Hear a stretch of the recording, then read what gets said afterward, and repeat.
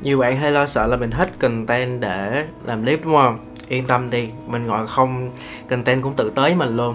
Và một buổi chiều đẹp trời có một comment góp ý uh, rất là chi tiết về nội dung video sao sao sao đúng không? Không sao, tại vì góp ý là chuyện bình thường. Nhưng có một comment cực kỳ stand out luôn các bạn cùng xem nội dung nè. Để mình đọc nội dung cho các bạn nghe ha. Oh my god. Thằng này nói nó không nghe đâu ông ơi Cái tôi nó cao bảy trượng ra. Ok ha edit cho khách mà edit trên cấp kết rồi lấy tiền triệu thì nói thật xem thường khách mà còn hạ thấp anh em làm nghề. Edit trên cấp kết mà còn lấy tiền khách tiền triệu của khách. Rồi nói thật là xem thường khách hàng mà còn hạ thấp anh em làm nghề nữa. Ừ. dùng làm cái gì không nói này đi dùng cho sự kiện rồi đám cưới thì đến chịu ờ ok ok ok ok. Bạn thấy không? Ờ, hiển nhiên là người bình thường đọc vô comment này thấy vô lý liền rồi tại sao khách hàng không bút những người như thế mà lại bút mình? Rồi mình sử dụng công cụ gì dựng đi chăng nữa thì nó cũng không phải là vấn đề. Thật ra thì chính cái clip hôm đó ha uh, cái clip mà để quay ờ, uh, dốc cưới á clip chính mà để gửi cho khách á là mình sử dụng Final Cut Pro. Còn cái clip mà sự kiện là nghĩa dựng nghĩa dựng bằng cái um, cái gì ta? Bằng ờ, DaVinci Resolve. Đó là nghĩa dựng nha nghĩa edit chứ không phải là mình. À còn lại cái clip buổi chiều á, thì mình à, chưa kịp edit để kéo vô á, cho nên sẽ không có clip thấy xuất hiện. À, cái clip cưới á, là hôm đó mình chưa có cái clip final hoàn chỉnh để mà đẩy đi với lại dính nhạc nó cũng không ngon lắm á cho nên là mình kéo clip uh, bên từ sụt góc kéo vô cái cấp kết mình đang dựng để vlog luôn. Xong rồi để kéo nhanh viết nhanh viết nhanh để nhanh để có một cái clip để show ra cái ngày cưới một số sản phẩm này giống như vậy đó. Show ra vài cái góc đẹp thôi chứ không phải là full clip toàn vẹn nữa nhưng mà ở ừ, đăng lên youtube cái dính bản quyền cũng phải đổi nhạc. Nói chung là clip nó cũng không có hay lắm. Nói chung là nhiều sạn nhiều lỗi hay là mình fix vội á tại vì kéo kéo sụt từ bên kia. Nói chung là mình dựng vlog đúng không? Hay là nói về những ngày show á mình hay kéo những cái sụt uh, bên trong sụt góc kéo qua rồi edit trực tiếp trên đó luôn.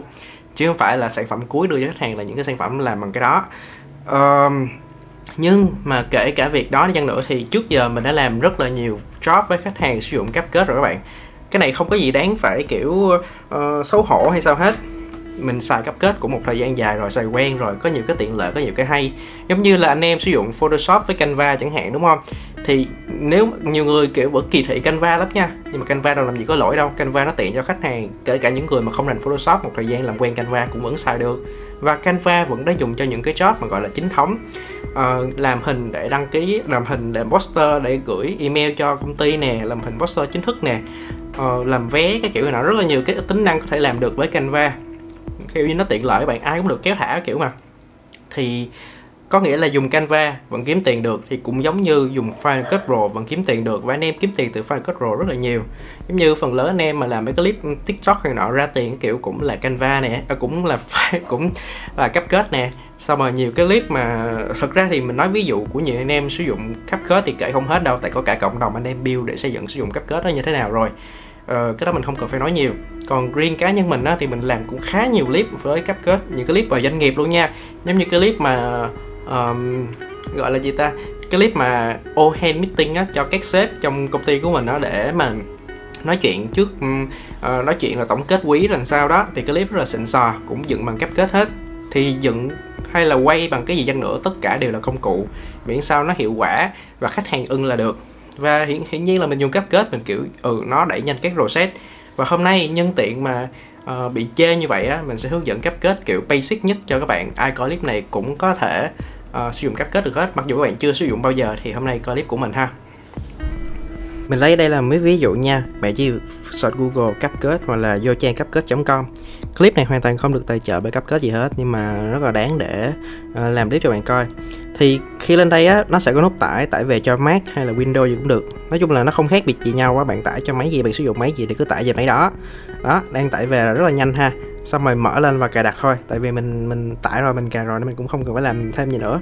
Hướng dẫn tải thì chắc mình không còn chỉ nữa rồi ha. Nhưng mà chỉ để show các bạn là tải đâu thôi. Ok bây giờ mình sẽ mở cấp kết lên nè. Mở cấp kết lên. Nó khá là nhẹ và là nhanh và nó tối ưu hóa phần cứng á. Bạn thấy không? Phần lớn mà dùng cáp kết để dựng clip vlog nhiều hơn uh, clip cho client work ha. Rồi uh, khi mà đã xài những cái cáp kết như thế này á việc đầu tiên bạn đừng quan tâm tới những cái này cái này là những project cũ thôi. Bạn nhấn vào giữa này create project nè đó. Ừ đúng rồi. Bây giờ mình sẽ chuyển sang kiểu quay màn hình đi để các bạn thấy rõ hơn. Ok, bây giờ chúng ta sẽ quay ở cái góc mà nhìn full màn hình. Các bạn sẽ thấy giao diện của nó tất cả đều nhìn chung chung như vậy á. Nếu diện mà nó không có được như vậy thì bạn cứ default layout ha. Cứ chọn góc phải này, chọn default layout. Ở đây á, mình có những cái clip sụp video từ ờ, từ từ từ từ từ, từ đâu rồi? Cơ bản á, mình chỉ xoay quanh việc kéo thả thôi bạn Không cần phải làm gì quá ghê gớm đâu. Đây là một cái sụt ABC mà nãy mình có dùng nhanh để làm uh, video ha. Rồi sẽ kiếm một cái sụt nào đó đẹp đẹp lung linh tí xíu. Mất vài giây thôi. Sorry cái này cái clip kiểu như mình chợt nảy ra vậy thôi chứ chưa có chuẩn bị từ trước. Thành ra là nó không có đẹp lung linh gì hết. Ok lấy ba clip này đi lung linh đẹp đẹp nè. Bạn chỉ việc kéo trực tiếp vô vậy luôn á. Ừ rồi chúng ta sẽ có cái clip trên timeline ha. Ở trên timeline này á các bạn thấy là uh, mình đang dùng cái trackpad mình có thể zoom ra zoom vào để phóng to đi độ dài ha. Còn bạn muốn cầm di chuyển từ chỗ này á thì bạn cầm chính cái thanh này kéo qua kéo lại. Đó hoặc là dùng phím mũi tên di chuyển qua phải di chuyển qua trái cũng được. Rồi cái này quá dễ ha. Còn bạn muốn play video sao? Nhấn space. Nó sẽ chạy video đó à, cái này âm thanh mình không cần tại mình dựng highlight thôi nên mình cầm cái âm thanh này mình kéo xuống bằng không. Hoặc là bạn nhấn góc phải này có chữ audio bạn điều chỉnh được cái audio level ngay đây. Tăng to lên nè và giảm xuống bằng không. Bên đây cũng vậy mình giảm audio level tap audio góc phải kéo xuống về không. Bên đây cũng vậy luôn kéo về audio level giảm về không. Đúng rồi đó. Rồi cái clip mà đang chạy bình thường chạy bình thường đúng không? Rồi bạn chỉ cần biết quan trọng là hai ba phím cơ bản thôi của CapCut là bạn dựng được gần như là mọi clip luôn rồi ví dụ á à, bạn mình cần lấy cái đoạn này từ từ đây thôi bắt đầu từ điểm này ha tại bao nén nè từ đây từ đây trước thì mình nhấn B B là viết tắt của play. Play là cái hình cái lưỡi kiếm lưỡi dao á giống như play trong Deadman Deadpool and Wolverine vừa rồi đó. Ừ, thì play là lưỡi kiếm lưỡi dao ha. Dùng cái chữ B này click vào ngay đúng cái chỗ cái cái cái thanh này á thì nó sẽ cắt đúng cái chỗ này luôn tại vì á, những cái này nó có một phần gọi là magnetic timeline, nghĩa là 500 các bạn, là hít vô đất vô á. Nếu bạn chưa có cái đó thì bạn bật ở góc phải lên nè, hoặc là nhấn nút N để bật tắt á. Đúng không ta? Ừ đúng rồi. Bạn chỉ cần bật hai cái này thôi nha, hai cái bên phải này thôi nha, đừng quan tâm những cái khác. Mình chỉ cần dùng hai cái phải này là chính nè. Ủa, mình nhớ mắt nó có cái phóng to lên mà sao không thấy ta? Weird. Nói chung là bật cái 500 mới lên á, thì khi mình chỉ cần để gần cái chỗ mà mình đang review á, thì mình click một phát là rồi mới cắt đúng cái đường này luôn, tránh bị việc mà cắt lệch qua trái hoặc phải tiện lợi vậy đó ha. Sau mình nhấn lại chữ A. A là kiểu con chỏ chuột để mình di chuyển click gì đó ha kéo thả gì đó. Mình cầm cái này mình kéo thả ra ngoài cũng được. Quăng đi chỗ khác kéo về phía trước kéo về phía sau kéo, kéo lên đầu kéo ra sau. Đó là chữ A. Còn chữ B á, thì mình quay lại cắt ha chữ A là di chuyển vậy thôi. A là như kiểu cái tay để mình cầm nắm vậy á. Thì lúc này á mình à, bỏ cái phần sụt phía trước thì mình nhấn delete thôi chọn vô mình click vô nè click vô cái sụt mình cần bỏ delete. Xong tới đây sẽ có sụt chạy chạy nè. Và mình thấy là nó đã chạy êm rồi. Cái là tốc độ bình thường cũng êm rồi nhưng mà mình thích nó slow hơn một tí nữa. Thế là mình cho nó qua speed chọn cho nó một nửa từ một một đúng không? Xuống còn 0.5 thôi thì lúc này tốc độ nó giảm còn một nửa. Đó nhìn đẹp chưa? Rồi và mình sẽ kiếm một cái nhạc rồi đó bỏ vào bên dưới. Cái timeline á, thì thường ở trên nó sẽ chứa những cái nội dung video và bên dưới của cái timeline nó sẽ chứa những nội dung âm thanh. Đâu rồi mình lấy nhanh một cái suột âm thanh nào. Đó uhm. à cái này chui nè. Rồi, bỏ vô. Xong rồi bỏ từ góc này. Kéo. Đó, cái này khi mình cái chữ baby cất lên á, mình muốn cắt ở đây mình lại nhấn chữ b play. Xong rồi click vào. Đó, nó sẽ ra thành hai đoạn rồi, đúng không? Mình xóa cái đoạn phía sau đi. Rồi, mình sẽ từ đầu nè, click lại từ đầu. Nước. Baby. Nó đã chuyển sang cảnh thứ hai rồi rồi, cái này cũng đang tốc độ bình thường ha. Mình muốn nó slow lại cho nó cinematic nhất có thể luôn. 0.5 nè, giảm tốc độ đó. Di chuyển. Cái này lại chậm quá rồi. Các bạn thấy sao? Các bạn thích để một ít hay là 0.5 hơn? Cái đó là tùy vào cái style của bạn ha. Tất cả cái này là công cụ hết. Còn bạn thích cái style nó như thế nào thì là ở phía bạn ha.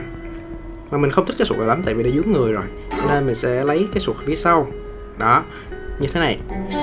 Kéo xuống ca đoàn ha. Ok, cái này á, là mình sẽ để tốc độ cũng một nửa luôn. Rồi mà phần đảo đang cứng đơ của bạn, mình sẽ lấy từ cái đoạn mà có di chuyển. Tại biết sao trước đó là một đoạn video đang di chuyển từ trái qua phải. Thì cái video tiếp theo á, mình cũng muốn giữ nguyên cái chuyển động đó để giữ cái luồng từ trái qua phải. Nó đang đứng yên nè, mình không lấy cái đoạn đầu đứng yên. Rồi, bắt đầu di chuyển rồi, thì mình bỏ nhấn chữ B nè chuyển sang play click một phát là nó cắt rồi đó rồi. Xong rồi click cái đoạn mà mình cần, không cần nữa, mình nhấn delete chữ B hay chữ V cái này là nó sẽ áp dụng cho à, chữ B chữ B và chữ A này á. Mấy cái phím tắt này á là phím tắt kiểu cơ bản. Và bạn xài Windows xài uh, um, xài MacBook đi chăng nữa thì bạn xài hệ nào đó nó cũng chung một cái format như vậy hết. Cùng một cái phím tắt layout đó hết ha cho dễ vậy đó.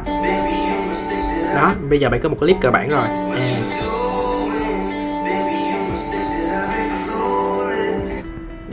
Như vậy là bạn đã có một cái clip rồi. Còn bạn muốn phát triển thêm nữa muốn muốn muốn làm cái clip bao nhiêu chăng nữa đó nó sẽ như thế nào á thì tùy các bạn thôi.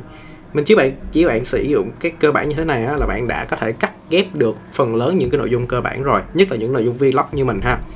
À, là từ đó nè. Và khi á, mà mình cần thì mình có thể trồng nhiều layer lên được. Ví dụ như là mình có thêm một clip mình bỏ lên trên nữa để nó nhảy từ A qua B không nhất thiết phải kéo xuống cùng một cái timeline. Một cái đường ngang này chính là một cái timeline ngang ha nhiều khi ở trên kia thì sao cái timeline, cái đường trên của timeline. Đó, tại vì cái cái layer này á, bạn phải hiểu á, là nó đọc cái phần mềm kết hay là tất cả những phần mềm dựng phim á, sẽ đọc từ trái qua phải và từ trên xuống dưới. Thành ra là bạn sẽ thấy cái cảnh của nó là từ trái qua phải trước nè, là cái clip này đầu tiên. Sau mà nó sẽ quét tới cái phần ở trên này xuống như kiểu cơn mưa vậy á, nó đổ từ trên xuống và nó chuyển sang cái clip này. Đó, từ trái qua phải từ trên xuống dưới, các bạn chỉ cần nhớ điều đó ha, nhớ cái flow để biết mình dựng, mình kéo clip của đâu. Rồi, ok và một cái hay nữa là bạn nhấn chữ V á, để ẩn hiện cái video đó. Giống như là mình có một cái video ở trên này đúng không? Thì à, mình ẩn video trên thì sẽ hiện ra video ở dưới chẳng hạn để bên đây cho dễ nhìn nha. Đó cái này video đang nằm ở trên rồi nên nó che cạnh ở dưới rồi. Mình nhấn V để ẩn hiện video khi cần thiết để mình review và làm nhiều nhiều trò hay ho với nó. Thì nội dung chuyên sâu á chuyên sâu vào những cái con này á chuyên sâu vào những cái chức năng này á thì uh, bạn có thể xem những cái chức năng thêm mà ủa chỉ cần chữ AB là chính này thấy không? Ừ, nói chung chỉ cần hai phím tắt các bạn sử dụng đi sử dụng lại hoài luôn á. Bạn muốn thêm kiểu hiểu đặc biệt thì bạn qua hiểu chuyển cảnh đi ha đây là transition. Transition bạn phải kéo thả ở đây ở đây có những cái transition để chuyển cảnh qua trái qua phải như kiểu đổi màu ha mình kéo một cái clear màu phim kiểu như clear của phim sáng lên xem nó chuyển từ. Đó nó flare sáng lên xong nó chuyển qua xong rồi bây giờ uh, cái này là một kiểu ha cái này kéo thả rất là dễ mà các bạn chỉ việc vô phần transition transition là chuyển cảnh á.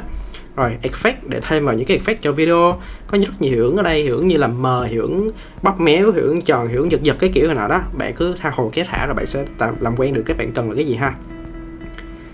Hoặc kiểu lung linh kiểu ánh sáng trôi nổi trôi nổi như thế này. Đó mình kéo trực tiếp mình bỏ vô cái video của mình luôn. Đó nhìn lung linh hẳn rồi đúng không? Nhìn lên lung linh luôn rồi đúng không? Đó chỉ có vậy thôi à rồi khi bạn cảm thấy video nghĩ rồi bạn sẽ xuất ra thành một video. Xuất ra như thế nào? Góc phải chọn export. Ở trên này nó sẽ có các thông số cơ bản. Thì bạn chỉ cần thay đổi một số cái cơ bản thôi, như kiểu độ phân giải, Full HD hoặc 4K nhưng mà thường bạn quay Full HD thì nên xuất ra Full HD ha. Rồi, còn format thì MP4 nếu mà bạn muốn chốt luôn, không muốn để hậu kỳ nữa, thì xuất ra MP4 để cho ai cũng coi được hết. Codec HFX cho nó nó nhẹ ha. HEVC này cho nhẹ rồi FPS sẽ là frame rate thường thấy của các chụp mình quay. Thường thường mình quay 50 FPS hết và xuất lên các nền tảng xã hội mình đều để là 25 FPS hết nha. Rồi, bây giờ chỉ cần click export. Nó xong luôn rồi các bạn. Bạn thấy cấp kết nó nhanh chưa? Có nghĩa là cái clip cỡ 30 giây, một phút gì đó, nhiều khi mình click một phát là nó hoàn thiện luôn rồi. Chứ không mà kiểu clip mà dài hơn cỡ 50 phút á, thì nó sẽ chạy chạy chạy chạy một thanh. Còn cái này nó quá nhẹ, quá dễ với nó đi. Click một phát là xong video luôn rồi. Ảo quá ha để chuyển lại suất 4K đi cho nó nó, nó, nó lâu hơn đi ha. Chuyển thành 4K nè cho nó có thời gian này nó suất hơn. Đó bạn 6 phần trăm nó chạy nè. 4,8 12 phần trăm nhanh chưa? Cái này sẽ rất là tiện khi bạn mà cần à, làm clip nhanh. Nhanh và chạy đua với nhiều job khác nhau á. Thì cái việc mà cáp kết nó tối ưu nhanh như vậy tiện như vậy cần nội dung á. Cáp kết nó tính tốt như này.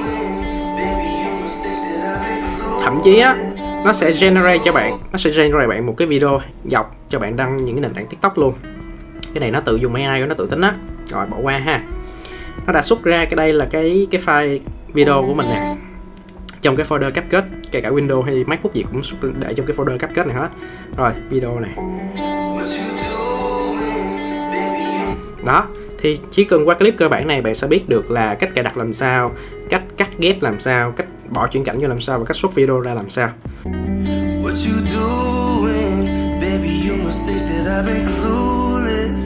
nếu các bạn thích những cái series thế này mình có thể làm thêm những clip chuyên sâu hơn. Nhưng mình nghĩ là ở ngoài kia có rất là nhiều clip hướng dẫn sử dụng rồi cho nên là clip mình làm thêm tí nữa thì nó cũng hơi thừa thải. Hôm nay chỉ là để muốn cho bạn coi uh, tiện thể thôi tiện thể nói về nội dung thôi và cũng để chứng tỏ rằng á chứng tỏ cũng không đúng lắm. Chỉ để khẳng định lại rằng á là tất cả những thứ này đều là công cụ các bạn. Đừng để nó làm ảnh hưởng tới cái cái cái mindset của các bạn ha quan trọng là cái phong cách nghệ thuật của bạn cái style của bạn dựng có tốt hay không á. Chứ không phải là nằm ở việc bạn xài công cụ gì có kiếm tiền được hay không. Giống như tại sao mình xài cấp kết làm job khách hàng khách hàng vẫn bút mình mà không bút với bút những bạn đó. Tại sao bạn đó lại cây cú đến mức mà phải nói là mình xài cấp kết thì làm ảnh hưởng tới uy tín gì ảnh hưởng tới cái gì của anh em á. Anh em làm nghề á nghe rất là hài hước đúng không? Ok à, không nói gì nữa cảm ơn bạn đã xem clip này. Bye.